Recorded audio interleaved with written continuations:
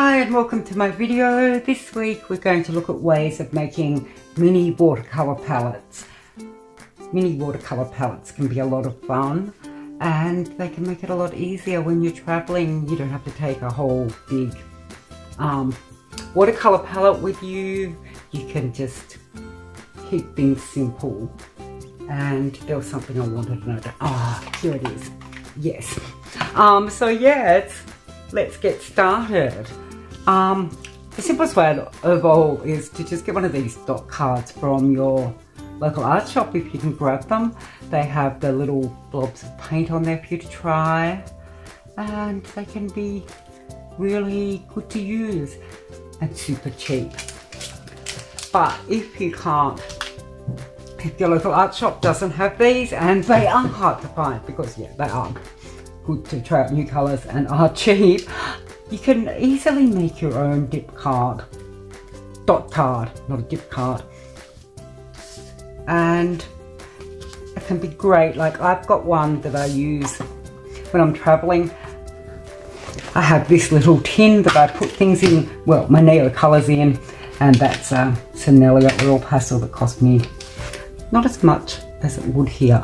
In Australia, you have to mortgage your house to afford a Sennelier pastel, but I got that in Japan cost a reasonable amount. But yeah, when I'm traveling, I have this little dot card I made and I put it in the top of this tin. It, I don't use watercolor much, so this is enough to meet my needs. If you're using a lot of different medias, you're a, like enjoy multimedia, then carrying around a whole watercolor kit is a bit of overkill. So how do you make a dot card? It is so easy, so easy. The only thing is you have to have tube watercolors. If you've got half pans, I think this is going to be near impossible. But if you're using the tubes, you just need to squeeze out a dot and that is it. Could not be easier, right?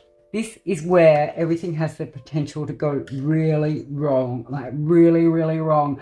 Because I've got this tin, it had mints in it when I was in Japan. It's the Hayabusa train, which I really love.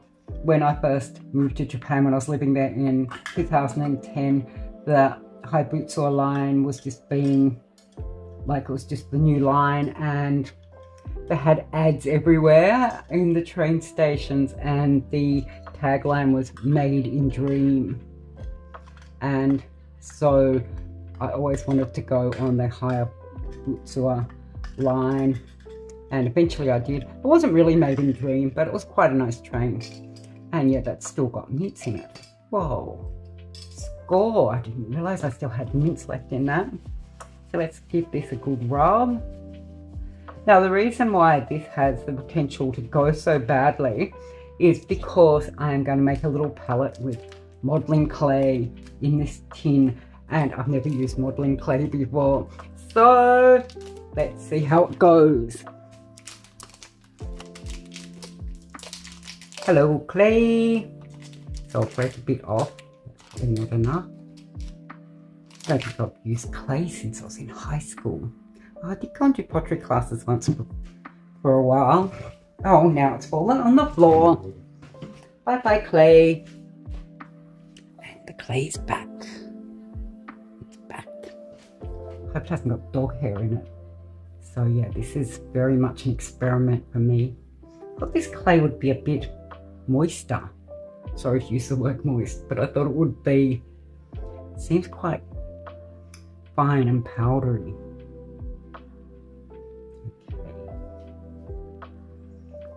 This in here. That's not enough. More clay, more clay. And I could have dried out a bit because it's been so hot here recently. But I kind of figured if it's in the packet, it should be fine. What I'm going to do before I forget is get a Ziploc bag and put the clay in it so that it doesn't dry out I can make other things with it later. Maybe a little clay man. Yeah, it's really dry. It'd be easier if I put it into the little tin.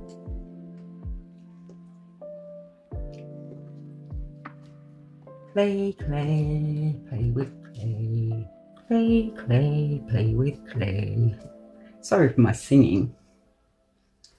But we need to get all this shoved in there real tight up to the corners. I'm assuming this is going to shrink a bit when it dries, but I kind of figure if it does, I can just use some glue to glue it back in.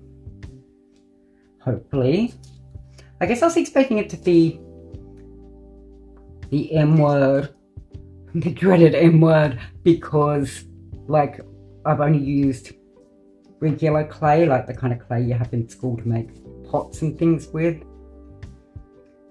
This is more like if you're making bread and you'd left that bread dough sitting out on the in the kitchen uncovered and sort of left it sitting around and it all dried out so, hmm. Now I need to smooth all that down. I want smooth. I want of having those sections. So, what I'm going to do is use this lid of a Tombow to roll it.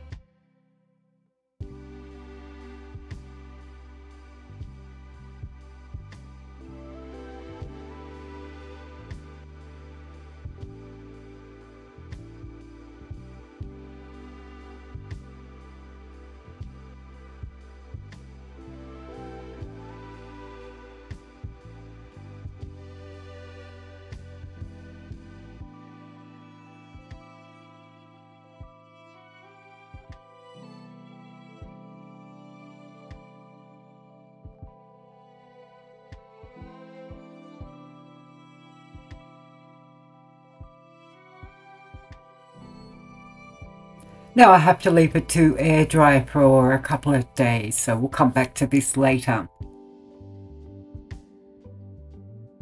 The clay's dried nicely and it hasn't even shrunk, so now it's time to varnish it.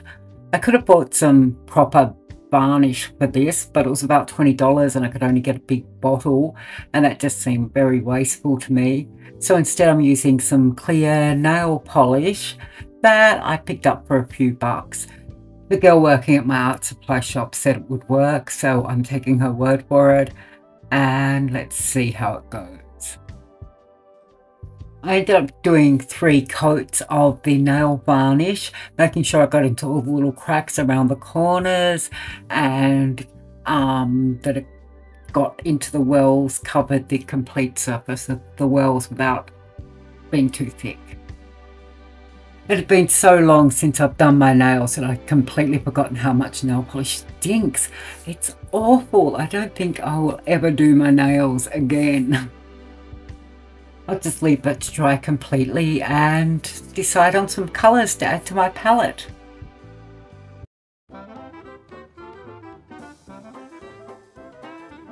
With this palette I'm thinking of cityscapes with like some mainly bluish greys and with just a few pops of bright colour to or for that city look, you know, signs and all that kind of thing that you see around the city. So I want a yellow. I think the lemon yellow is going to win because I love lemon yellow. And, but just to test it out, I'm going to use some of this new Gamboge Ah, I have real troubles opening these little lids and things. So, mm, it's very hard to pick which I prefer. So I might just wait until I've got the rest of the colours in and then see what works best with the other colours. I need to get some paper towel. Now we've got Daniel Smith Payne's Grey,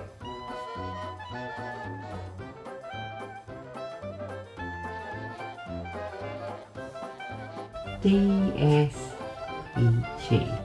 That was Schmincke. No, it wasn't.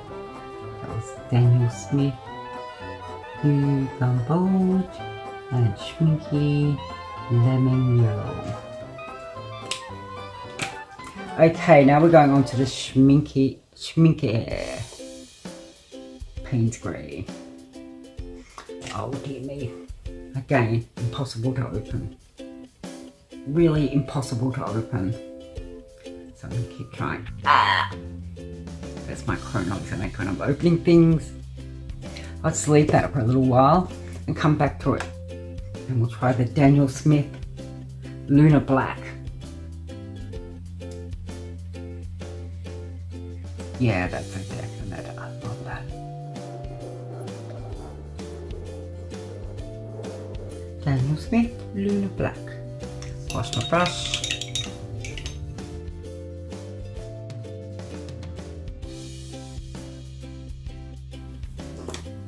That was Jackson's Indigo. J-I.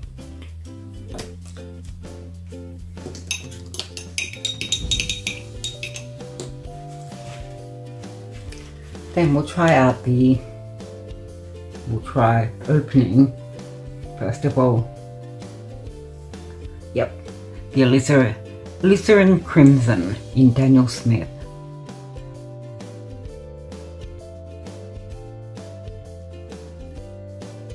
And next, I don't usually buy Winsor & Newton watercolours, but I was at my local art shop and they had this in the clearance bit at, near the counter.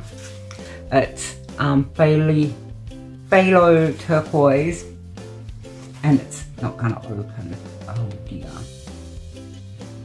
So what happens when you don't use your watercolours for like ages and ages. You just, they glug up and that is definitely stuck. Oh, this one's the Schmincke Ocean Grey. Can I get this open? Can I get it open? Oh, too easy.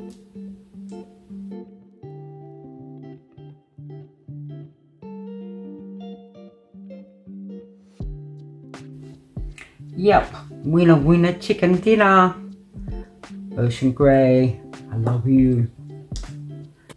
Okay, now we're going to try this. This is Daniel Smith Cobalt Teal Blue.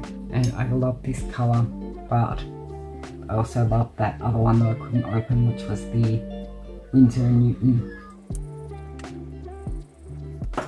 Now I really want to get this turquoise open so I can compare it to that. But I might have to attack it with a palette knife. Okay, I'm back and I've taught these paints who's boss. Yeah. For me, guys. So this one is the Schmincke Payne's Grey.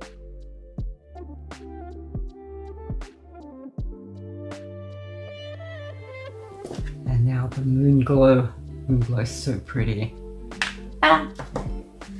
It's okay, don't panic. it's too early in the morning. It's quite early in the morning here and normally I don't do things before lunch. I hate doing stuff before lunch, but the house next door's been pulled down and I'm pretty sure that they're not working there today, but just in case they do turn up, I want to film before we get that whole horrible smashing banging. It's been driving me crazy. And they said it's going to take between five and eight days to demolish the house, which seems an awfully long time to me. Like, surely, you know, you can knock a house down faster than that. Soon they'll have it done. And then we get on to the really fun part, which is the rebuilding. I'm really hoping that they don't want to build anything that's above single story because then the people next door will be able to see straight into our backyard and that's not ideal.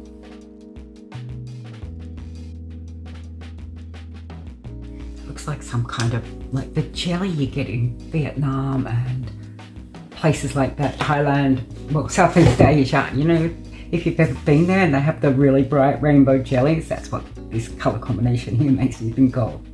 So anyway, out of these colors, which would you pick if you were making a mini palette? I'm thinking,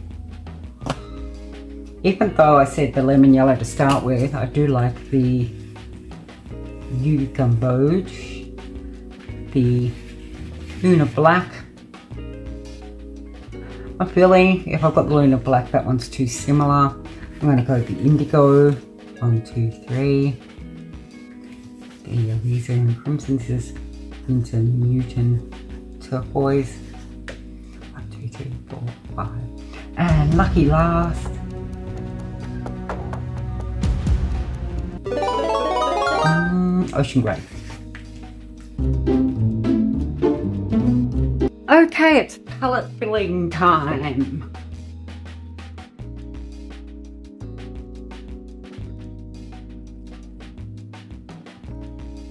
Also thinking about putting a magnet on the bottom of this little pan.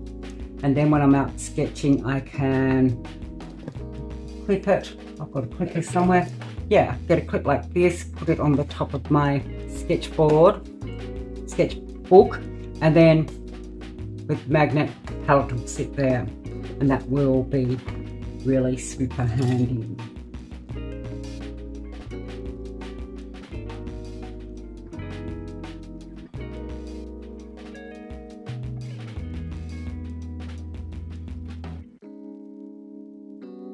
yeah, I can do put the lid on in reverse like that. I was thinking now I can use that as a paint mixing little space there. This colour is a bit excessive. Just put it. This is the dot card I made earlier. I've actually been using that brown because I don't have any brown um, watercolour in my palette that I use most of the time. I was doing uh, the picture I did in my speed sketch video, if you've seen that, I was using the brown off the dot card. So the dot card's already proven itself to be very useful. And now I've put on some of that blue that was going over the top in the palette. So I can use that again in future. Oh, how cute does this little palette look now that it's done? Woohoo! So happy with my little cute palette. If you'd like to see me use this palette in a live stream or maybe in a painting on location video, leave a comment and let me know. It's always good to know what people want to see so that I can give you what you want. And thanks for joining. Oh, look at my hands. Look at my hands. That's all from trying to get those tubes open. I had to run them under the tap and try and to try and open some of the stubborn ones and then they leaked all over me and now I look like I have been involved in some kind of crime. One of the things about being an artist is you never have clean hands. um, so yeah, if you enjoyed this video, make sure to hit the like button. If you haven't subscribed to my channel already, then yeah, and you want to keep seeing my stuff, subscribe. And if you want to see more handy tips about sketching, I've got a whole video on that and I'll try to remember to link it up in the end card. But otherwise, thank you for watching. How cool is this? And see you next time.